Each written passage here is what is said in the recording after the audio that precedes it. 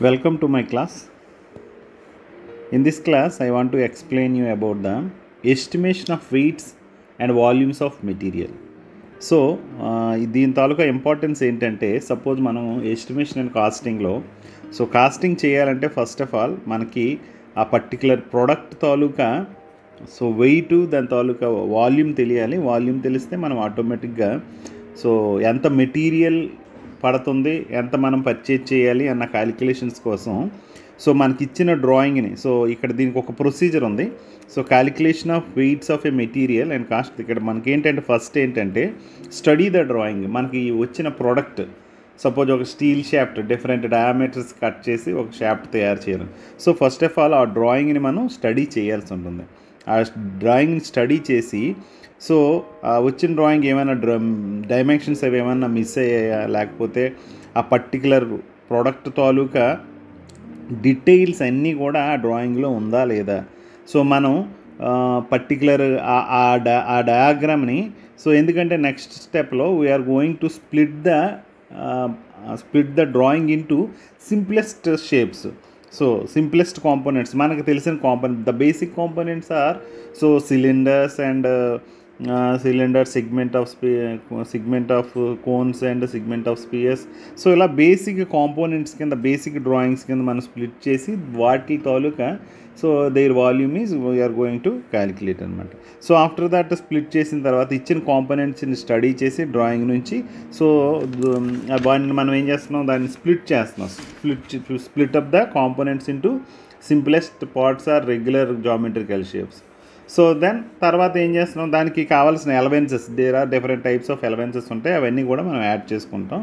Next calculation of volume so ఇక్కడ ఏంటంటే మనకి సింపులెస్ట్ కాంపోనెంట్స్ కింద మనం విడదీసుకున్నాం కదా రెగ్యులర్ షేప్స్కి ఆ రెగ్యులర్ కాంపోనెంట్స్ తాలూకా వాల్యూమ్ ఫార్ములాస్ మనకు ఆల్రెడీ తెలుసు కాబట్టి సపోజ్ సిలిండర్ తీసుకున్నాం five by four D square into L దాని తాలూకా వాల్యూమ్ సో ఇలాగ ఒక క్యూబ్ తీసుకున్నామంటే length into breadth into thickness so ఇలా వాటి తాలూకా వాల్యూమ్ని మనం క్యాలిక్యులేట్ చేస్తాం సో వన్స్ వాల్యూమ్ క్యాలిక్యులేట్ చేస్తే after that calculation of weight so వెయిట్కి formula ఏంటంటే weight of the article problem ఏంటంటే volume into density so it's volume into so volume into density so weight of the కాంపోనెంట్కి volume into density so volume into density తీసుకుంటాం. So దాంతో మనకి ఆ తాలూకా weight వస్తుంది.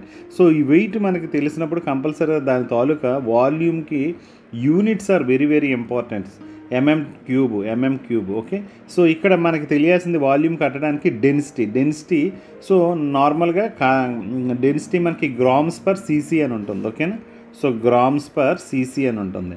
So అంటే grams per centimetre cube. Suppose నార్మల్గా cast ఐరన్కి seven point two grams per centimetre cube బ్రాస్కి eight point six mild స్టీల్కి seven point eight and స్టీల్కి seven point eight seven. So ఈ ఇవి యాక్చువల్గా మనకి డేటా ప్రొవైడ్ చేస్తారు. లే అదర్వైజ్ మనం ఇవి కొద్దిగా రిమెంబర్ చేసుకోవాలి. Okay?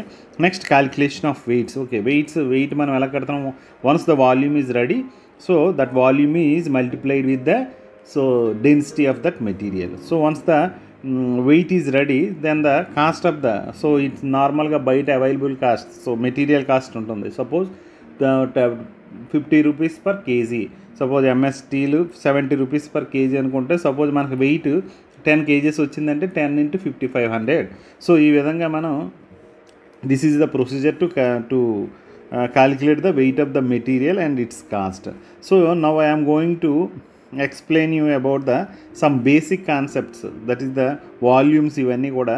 సో మళ్ళీ ఒకసారి వెయిట్ ఆఫ్ ద కాంపోనెంట్ ఎలా కడతామంటే that volume into density so volume ఇక్కడ very very important thing is so మనకి ఇచ్చిన drawing all dimensions are in mm so అన్నీ ఎంఎంస్లో వస్తాయి. సో కానీ ఇక్కడ వాల్యూమ్ మనకి ఎంఎంస్లో వచ్చి suppose M mm to the power of four వస్తుంది. డెన్సిటీ మనకి దేనిలో ఉంటుంది? So the సెన్ cc okay grams per grams per cc అని వస్తుంది. సో ఇప్పుడు దీన్ని మనం జాగ్రత్తగా కన్వర్ట్ చేసుకోవాలి. సో ఇది mms mm to the power of four వస్తుంది కాబట్టి వాల్యూమ్ మనకి MM MM to the power of four కాదు MM cube MM cube so ఇది ఎలా వస్తుంది కాబట్టి సో ఇప్పుడు మనకి ఏమొస్తుంది ఇది? సో వాల్యూమ్ని మనం first of all density grams ఉంది కదా. సో ఈ గ్రామ్స్ పర్ సీసీ ఇక్కడ మనము సో ఎంఎంఎల్ని మనం మార్చుకునేటప్పుడు సెంటీమీటర్ క్యూబుల్లోకి మార్చేసుకుంటే మనకి సింపుల్గా అయిపోతుంది. సో మనం ఎలా మార్చుకుంటాం? సో సెంటీమీటర్ క్యూబ్లోకి మార్చుకుంటే so one by so one mm one mm is equal to so one centimetre is equal ten mm కాబట్టి one by thousand centimetre cube అని వేసుకుంటే సరిపోతుంది. ఇక్కడ వేసాను so one mm cube is equal to so దీన్ని మనం ఎలా convert centimetre క్యూబ్లోకి ఎలా కన్వర్ట్ చేసుకోవాలంటే వన్ బై థౌజండ్ అని మీరు వేయాలి సో మీరు అన్ని క్యాలిక్యులేషన్స్ అన్నీ ఎం మిల్లీమీటర్స్లో చేస్తే చివరిలో ఫైనల్గా మనం సెంటీమీటర్ క్యూబ్లోకి మార్చుకోవాలి. ఎలా మార్చుకుంటాం? One by thousand centimetre cube ఎందుకు మార్చుకోవాల్సి వస్తుంది? ఇక్కడ గ్రామ్స్ పర్ సీసీలో ఉంది. That is grams that is density grams per cc that is grams per centimetre cube ఈ సెంటీమీటర్ క్యూబ్ గురించి మనకి ఇచ్చిన ఎంఎం mm క్యూబ్ని మనం మార్చుకుంటున్నాం. ఎంత? One by thousand centimetre cube centimetre క్యూబ్లోకి మార్చుకుంటున్నాం. అలాగే ఇక్కడ మనకు గ్రామ్స్లో ఇస్తున్నాడు.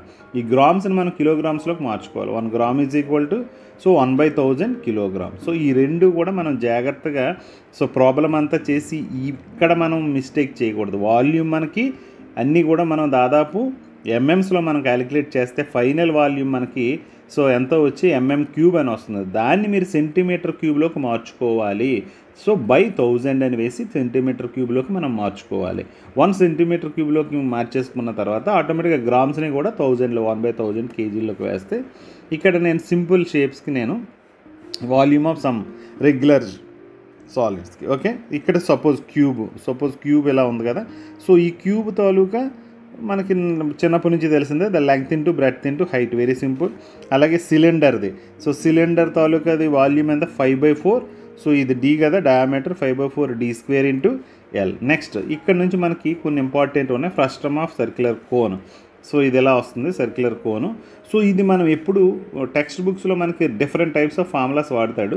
కానీ మీరు ఒక ఫార్ములాకి ఫిక్స్ అయిపోవాలి. That is వీజ్ volume of the frustum of cone is equal to pi H by three so this is the capital D this is the capital D this is మా స్మాల్ డి సో ఇక్కడ ఏంటంటే larger diameter smaller diameter so large diameter R square plus small R square plus R into R okay frustum of cone so R square pi H by three గుర్తుపెట్టుకోండి pi H by three so R square plus small R square plus capital R into small R so next one next one మనకి segment of sphere మనకి ఇక్కడ rivet sections అవి ఇచ్చినప్పుడు segment of sphere ఇక్కడ చూడండి segment of sphere ఒక సర్కిల్లో ఒక పార్ట్ ఆఫ్ పార్ట్ అయితే సెమీ సెమీ స్పియర్ అవుతుంది. సెమీ సో ఇది సెగ్మెంట్ ఒక చిన్న పార్ట్ తీసుకున్నాడు.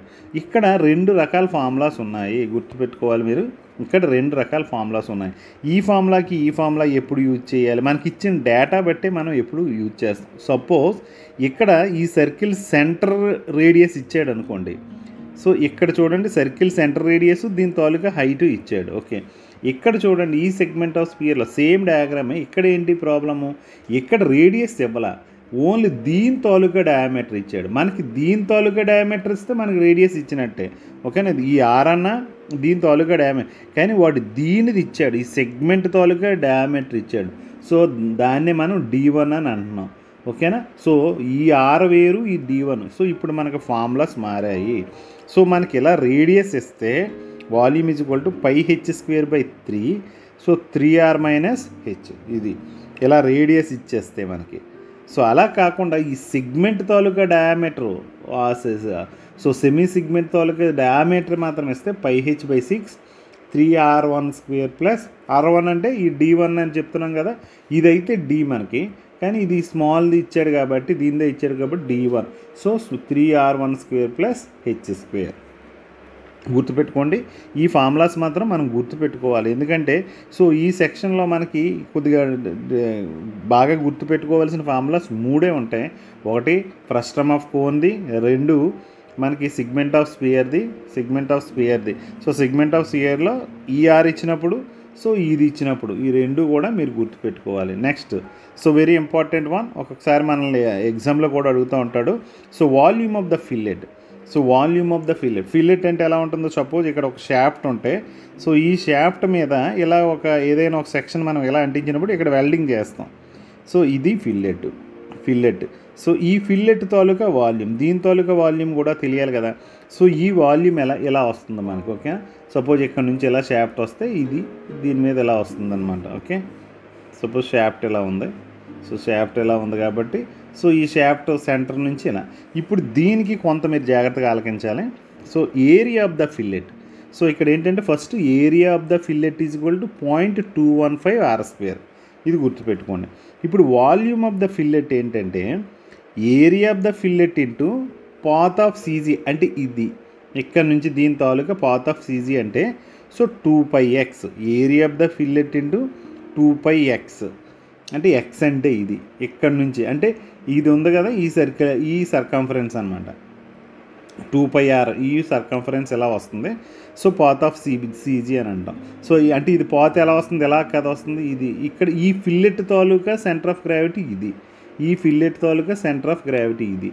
సో అంటే ఇక్కడ నుంచి సెంటర్ ఆఫ్ గ్రావిటీ ఎంత అంటే CG of the fillet is equal point two two three R గుర్తుపెట్టుకోండి. సో సీజీ ఎంత? Point two two three R ఇక్కడ ఏంటంటే ఇప్పుడు మనకు కావాల్సింది ఏ volume of the ఫిల్లెట్లో area of the fillet into path of the CG అంటే area of the fillet A. So A ఎంతండి? Area of the fillet అంటే point two one five square. So two pi x. X ఎంతండి మనకి? X అంటే ఇది. ఓకేనా? So ఇది ఇక్కడ మనకి ఈ షాఫ్ట్ డయామీటర్ ఉంది. ఈ షాఫ్ట్ డయామీటర్ ఉంది కదా? ఈ షాఫ్ట్ డయామీటర్ తీసుకొని ఇక్కడ నుంచి ఇది సీజీ. ఇక్కడ నుంచి చూడండి. సో ఇక్కడ నుంచి ఎక్కడికి? ఇక్కడ నుంచి ఎక్కడికి? సో ఇదేమో center of gravity of the fillet. CG of the fillet ఇది. ఇదేమో సో ఈ షాఫ్ట్ ఉంది కదా ఈ షాఫ్ట్ ఉంది కదా ఈ షాఫ్ట్ తాలూకా రేడియస్. సో ఈ షాఫ్ట్ తాలూకా రేడియస్ అన్నది మరి ఆ షాఫ్ట్ అక్కడ ఇచ్చిన ప్రాబ్లంలో ఇచ్చిన దాన్ని బట్టి మనకు ఆధారపడి ఉంటుంది. కానీ సీజీ మాత్రం మనకు తెలుసు కదా point two two three R ఓకేనా? సో అంటే ఇప్పుడు ఈ ఎక్స్ని మనం ఏమనుకోవచ్చు? బి ప్లస్ ఏ ఏ ఎంత? Point two two three R ఓకేనా? ఆర్ అంటే ఇక్కడ రేడియస్ ఆఫ్ ద ఫిల్లెట్ ఇస్తాడు మనకు ఓకే సో ఇక్కడ మనకి radius of the fillet R ఇస్తాడు ఓకే సో ఇప్పుడు చూడండి ఇది ఆ రేడియస్ ఆఫ్ ద ఫిల్లెట్ ఎలా ఇస్తాడు?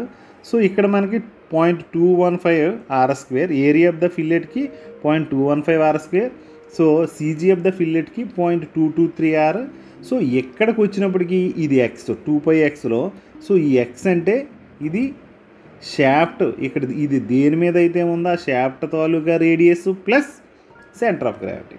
So center of gravity ఎంత డిస్టెన్స్. సో నేను దీన్ని ఏమన్నాను? ఇది ఏ అన్నాను? ఇది బి అన్నాను.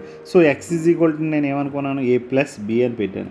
So point two two three R ఎందుకంటే this is the center of gravity ఈ పార్ట్ ఏ పార్ట్ సో ఈ బి అన్నది మనం అక్కడ ప్రాబ్లంలో పెట్టేయాలి యాక్సిస్ సో ఈ దీని సెంట్రల్ యాక్సిస్ నుంచి అంటే central axis means shaft axis నుంచి సో ఆ ఫిల్లెట్ ఉన్న వరకు ఉన్నదాన్ని మనం ఇది అనుకుంటాం. సో ఇది మనకి ఎక్స్ తెలిసిందంటే x is equal to A plus B that is A అంటే so center of gravity of the fillet next B అంటే యాక్సిస్ నుంచి ఉన్నది.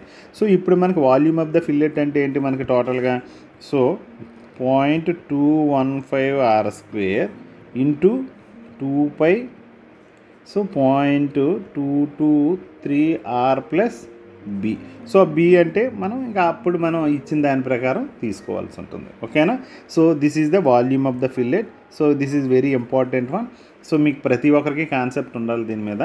So next one volume of cone so ఇంతకుముందు ఏంటంటే ఇక్కడ మనకి ఆఫ్ సిగ్మెంట్ ఆఫ్ కోన్ మనం తీసుకున్నాం. ఇప్పుడు వాల్యూమ్ ఆఫ్ కోన్ అనేస్తే ఇంతకుముందు మనకి ఇచ్చింది ఇలా కట్ చేసి volume of cone so segment of sphere అని మనం ఎలా తీసుకున్నాం? ఓకే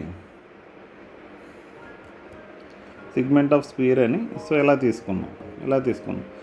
సో ఎలా తీసుకున్నాం? దానికి పై హెచ్ బై త్రీ ఇలా మనం వేసుకొని వచ్చాం. ఓకే? సో సిగ్మెంట్ ఆఫ్ స్పియర్కి మనం దా ఏం ఫామ్లో వేసామో? So pi h by three R one square ఇది ఆర్ వన్ ఇది స్మాల్ ఆర్ వన్ ఇది capital R one so small R R one square plus R two square plus R one plus R R one R two so ఇది మనం వేసాం. కానీ ఇప్పుడు ఇప్పుడు వచ్చింది ఏంటంటే full full cone. So full కోన్కి formula ఏంటంటే so one by three area of the base. So area of the base into height area of the base into height. So area circular కదా సర్క్యులర్ ఏరియా మనకు తెలుసు కదా. So and height. Next ఒక్కొక్కసారి మనకి so rings తయారు చేస్తాం. ఒక రాడ్ని పట్టుకొని ఒక రింగ్ తయారు చేస్తాం.